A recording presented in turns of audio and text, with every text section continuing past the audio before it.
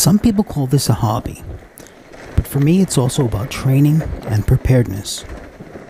There are a lot of different ways one could do this from a car, a truck, a camper, a cabin, or some other type of heated shelter, but I don't choose to do it that way. The Finns have this thing called sisu. And after a couple of decades of living here, on and off, I've started to understand what it is. You see, doing things the hard way isn't necessarily a bad thing always. Since inevitably the experience will make us stronger and hopefully a little bit wiser. This video is about the Radar Challenge from April 2017. It's not my normal video format, but I hope you will enjoy it nevertheless.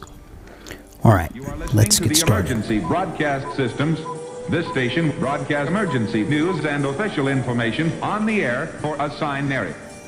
The Radar Challenge is an event which promotes rapidly deployable amateur radio stations.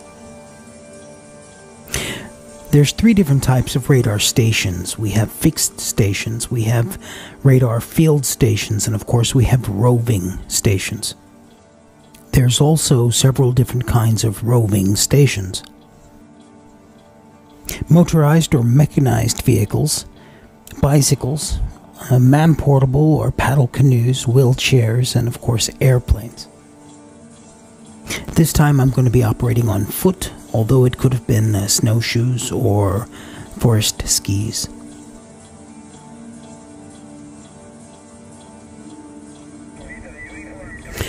This radar challenge, our emphasis was on radar to radar contacts. Of course, that doesn't exclude stations of opportunity. Another hope or goal was to carry out a sked between Zulu Sierra 6, Bravo November Echo, and myself using JT65. I also expected the random PSK 31 or PSK 63 contact. That generally works well for me, and it worked well in the trial run from the backyard. Now I know my comms objectives. Let's look at the kit we need to achieve those goals. As it's been in the past, my rig of choice has been the FT817 for phone and digital modes. I'll use the Zulu Lima Papa Mini Pro SE interface for interfacing between the tablet and the rig. The Samsung Galaxy Tab Active running Droid PSK and JT65 Android. Just in case band conditions wouldn't cooperate with my scheduled JT65 QSO, I have a 45 watt amplifier in the kit.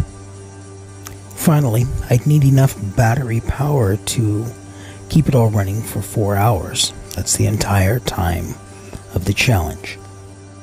This time around, I decided to use the Super Antenna MP1DX Max. I wanted to ensure that I used an antenna which could handle the high power and high duty cycle of the digital modes. I also wanted something that had 2 meters integrated into the system, and I needed something that didn't require a tuner because my Z817 tuner wasn't compatible with my amplifier. I knew the weather was going to be challenging, so I decided to take a route that I was familiar with. It's a part of my daily dog walk and uh, left me about one and a half kilometers hike to the first operating location. Temperature stayed uh, plus minus zero and uh, transitioned between freezing rain and snow. Actually, colder weather like minus 5, minus 10, even minus 15 would have been preferable over this zero and freezing rain. But other than getting the top layer of my clothing a little wet with the freezing rain, the hike to the first operating location was uneventful. So I hope suffering through this first part of the video gives you an accurate idea of the conditions I'm operating in. As I arrived at my first operating location, I wondered if any of the other radar challenge operators around the world had similar conditions as we find here. Still, it's not a competition. but the reality is I'm going to have to consider how to operate next time around. It may be time to accept operating from a teepee tent as a field station. The few times I've set up the Super Antenna MP1DX Max, you've seen in my previous videos. So I didn't have a lot of experience with this antenna. I also decided to pack the MP1DX Max into a smaller, easier to access uh, round pack. This pack is less organized, but I don't need to fiddle around inside with my gloves off to get out the components of the antenna. You see, the original case that comes with the MP1DX Max is absolutely well organized, but things fit so perfectly in there that I need to remove my gloves in order to find them and take them out of the case itself. And any additional fiddling while I'm out in the cold means that much less time that I have to stay out without a shelter. I'm also grateful that I have enough time to get outdoors and test my gear. I mean, without doing that, we would have no way of knowing what works and what doesn't. The super antenna configuration was a telescopic whip, the super slider, two extension rods, the UM2 universal mount, the counterpoise kit, and a tripod. As you'll see in a moment, I failed with the tripod because I forgot to bring the weight bag that I usually load snow or rocks or something in to weigh it down. So it ends up falling over during the setup, but uh, there was no damage. Just a field note here about the telescopic whip on the MP1. It's got an incredibly small breakdown size, which is why I carry it. Uh, the cost of that breakdown size is it being delicate. Here you can see I use the frequency guide to pre-tune the MP1 DX Max. In retrospect and having more experience with the system, I would rather use the FG1 frequency guide for uh, getting close to the band that I want, and then using an SWR meter with an SWR bridge or AB antenna switch uh, to fine tune the SWR. Once again, it's all about reducing the unnecessary fiddling in the cold. Some of you may be noticing my frustration interacting with the counterpoise. At this point of the setup, my fingertips are already getting cold and my goggles were icing or fogging up.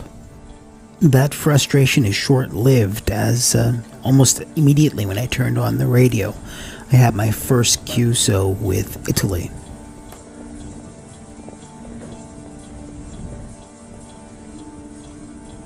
Here comes fail number one and fail number two fail number one. So I wonder how many of you caught this.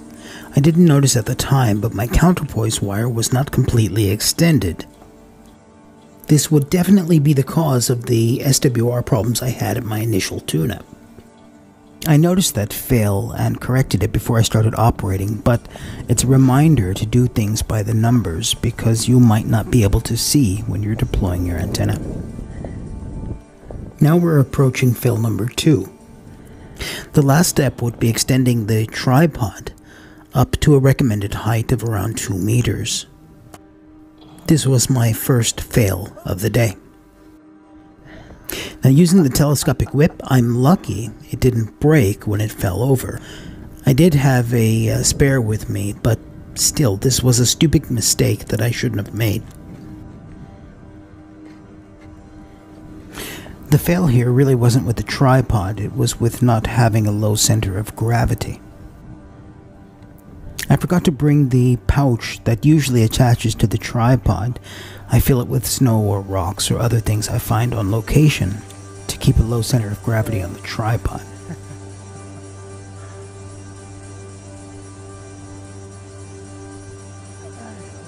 In the end, I decided it was better to work with the MP1 at a reduced height using this tripod instead of trying to uh, maximize its elevation.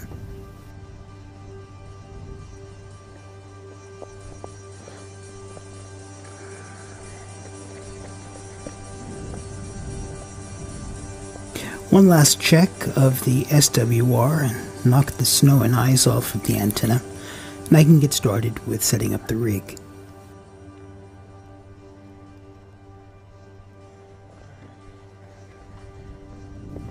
Since I'm using a hiking trailer or a ski pulk normally, I don't mind to take along a folding chair or a folding table to increase my operating comfort. But I did realize during this radar challenge that I need to come up with a smaller or a more compact folding chair and table. I think one of the reasons that I'm not using a shelter is the time it takes to set it up. If I want to be a roving station, I still have this four hour time limit to deal with, uh, and it's kind of a deal breaker. I believe this artificial four hour time limit will force me to set up as a fixed field station with a hot teepee tent for the next winter radar challenge. So it's a trade off between more effective operating or more mobility. Let's see how it goes next time.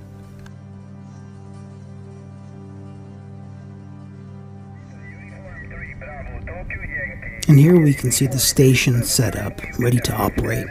I didn't realize the GoPro was frozen and the lens ice covered, but uh, I hope you don't mind. Oscar, Oscar, Hotel, Hotel, number eight, number eight, Sierra, Sierra, Tango, Tango, November, Stroke Papa.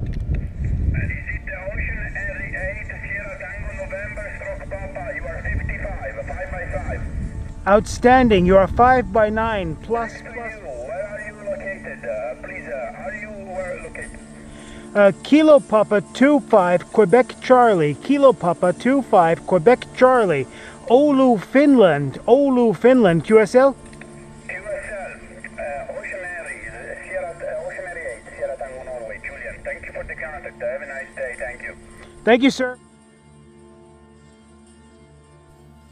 So, as we can see, the station actually worked well, but of course, that's not the end of the story. Let's take a moment to go through them point by point. As a portable digital station, I have absolutely zero complaints. The only fail I had was not having a spare cable once I broke the only one I had. The ski pulk was magnificent. It allowed me to carry a lot more weight and comforts that I wouldn't uh, normally have the opportunity to carry. The fail was not installing the cover to protect my gear along the way. The concept for the GoKit came from the EmComm community, and it worked extremely well. I'd like to improve it by integrating all of the components the radio, the uh, audio interface, and so on uh, into an ammo can type package already connected and squared away. Push a button and ready to go. Now we arrive at the radar roving station.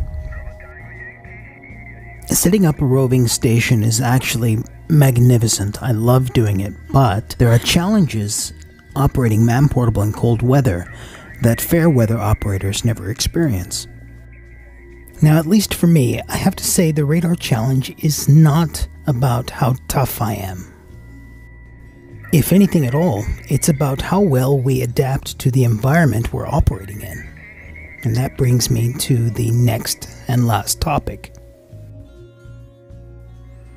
Over the years, you've seen me operating Man Portable from a variety of different locations. In fact, most of the compliments that I get about the channel are the getting there aspects of my man portable uh, excursions. Well, if the goal is actually to accomplish more effective communications, not to see how well I can suffer the cold, then I'm going to have to change the way I operate. Don't worry, the getting there aspect of my excursions and expeditions will not change. What will change is what I do once I've arrived at my location. So the obvious conclusion is to start operating as a fixed field station. Operating Man Portable is always going to be a part of this channel, but the idea of maximizing capability with minimal gear is even more important to me. And in the end, that's what this channel is all about. So as we close this video, I'm going to leave you with a couple of interesting things. Firstly, from Victor Alpha 3, Oscar Sierra Oscar, please show his channel some support. I'll also leave you with a link to the blog post that goes along with this video. If I would have posted everything, the video would simply have been too long. Finally, let me know what you think about this video and its content in the comments. So here we go guys. If you like what I'm doing and you want to support the channel, please give me a thumbs up and share this video with someone who might enjoy it. Rock and roll. Thanks for watching. 73 and ciao.